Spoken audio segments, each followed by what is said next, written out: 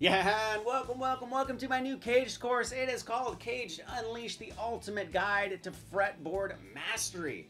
Now, how can a lesson package be the ultimate guide?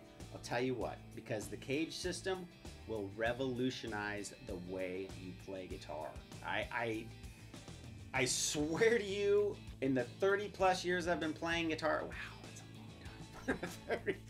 the single biggest turning point I had was when Guthrie Govan, the legendary shredder of shredders, told me, dude, go home and look up the CAGED system on guitar. If you want to know your fretboard, that is the way to do it. So, I mean, if it's good enough for Guthrie, it's good enough for me. I went home.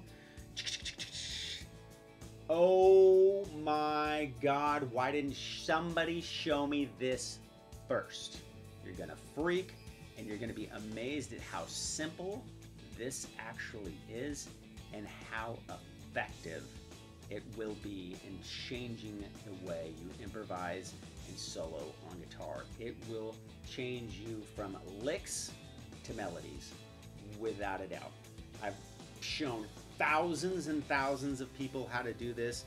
I've had thousands and thousands of students that were just like, oh, because it's unanimous. All of us had the same experience when we finally understood how to put the CAGED system inside our pentatonic scales or you know your major or minor scales whatever once you fuse these two things together which i'm going to show you the step-by-step process to do this in this course you will change in five minutes drastically and from that point on you will be shocked how much quicker you can become the melodic guitar player you always wanted to be. So, in the course, what we're going to do is I'm going to show you the CAGED system in both major and minor.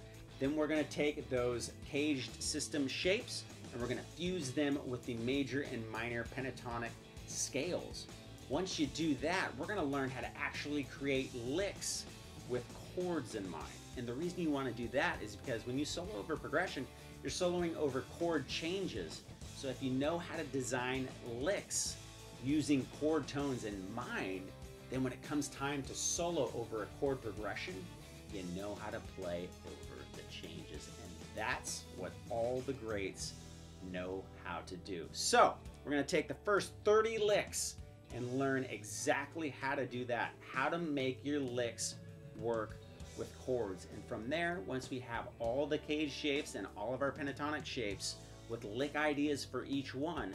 We're to take those ideas and others like them and we're to put them over real world chord changes. The jam tracks on this freaking course are amazing. I went to Nashville, hired some of the A-list session guys there. Some of the jam tracks are so much fun to jam over. so stoked you get to play over them because it's like a real world, world class band that's to be backing you up. But we're going to take some simple chord progressions and I'm going to show you the step-by-step -step process on how to create licks over the chord changes. Now you're going to learn some of my licks, but what you'll be able to do at the end of this course is jam over those jam tracks and create your own. That's my whole goal as a teacher. I don't want you to just learn my licks. I want you to learn and create your own. Learn what your own style is. Learn how to let your inner voice come out through your fingers on your guitar and really create something that's you. All right, so I'm gonna give you some examples of what's in the course. After that, I hope you decide to take this journey with me. I promise you, without a doubt, it will be the single biggest turning point in your guitar playing. You will finally unlock the ability to master your fretboard and create your own voice